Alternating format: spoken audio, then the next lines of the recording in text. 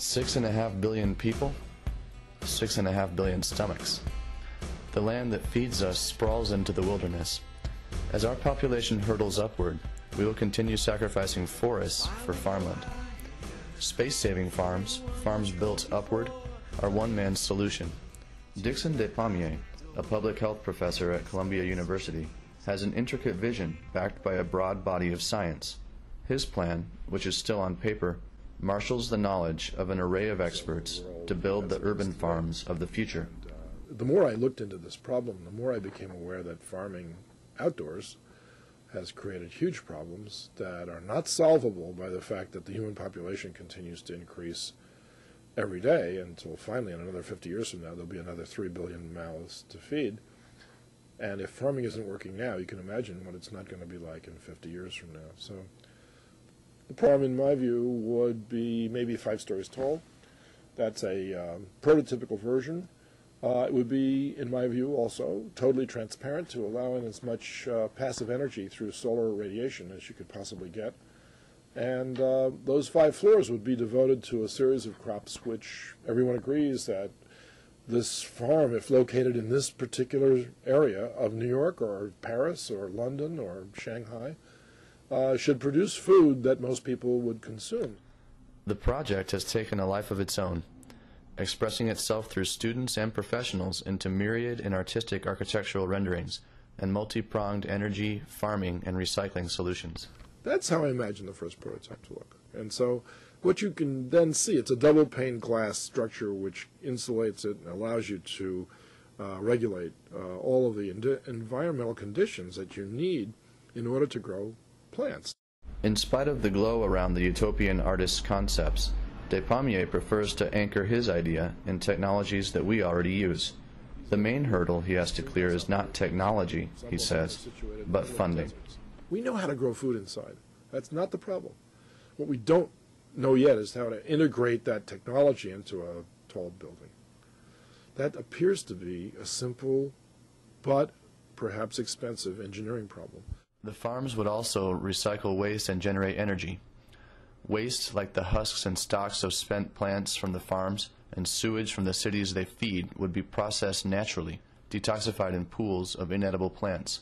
Nutrients would be extracted for fertilizers and the rest burned for electricity. The process Despommier foresees would be a high-tech one called plasma gasification. He explains. It's, it's akin to imagining yourself sitting on the surface of the sun now, you're probably going to last for a femtosecond. That's a very, very small amount of time, by the way. and, the, and what would happen to you after that is that you would break up into your component elements. You wouldn't even remain as compounds. You would go back to sodium and hydrogen and lithium and beryllium and oxygen and iron and all the other things that the body is made up of. Well, we can imitate that condition inside of a, of a closed chamber by using a very, very high electrical current. Where does the electricity come from?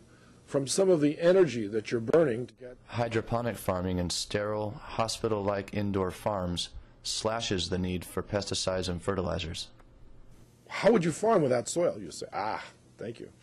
Back in the 1930s, someone asked that question, and gee, I wondered why when I dropped this avocado pit into my glass of water and came back a week later, the avocado pit had a big taproot and it had little stalks coming out of the top of it, and if I just keep adding water, you know what?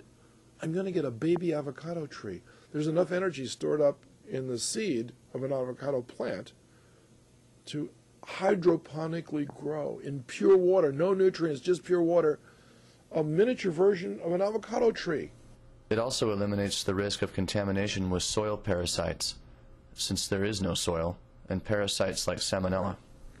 So why can we take that idea and apply it to the crops that we really cherish, like wheat and corn and rice? And rice, did you say rice? There's another water plant. Gee whiz, this must work. For Despommier, overhauling how we grow what we eat is urgent. And we choose to live in cities. We will live more and more in cities as time progresses. And if we don't learn how to do it soon, these will become horrible places. For every indoor acre you farm, you can save about five to ten outdoor acres. Every time you do that, the trees grow back and they suck up more carbon. That gives somebody a chance. It gives you a chance to catch up to the climate change issue. Vertical farming allows for the possibility of giving land back to what it used to be intended for, and that is to produce hardwood forest. The cost will be high, he says, but it will lower as vertical farms catch on. The cost of flat farming, however, is rolled up in the bill for global warming.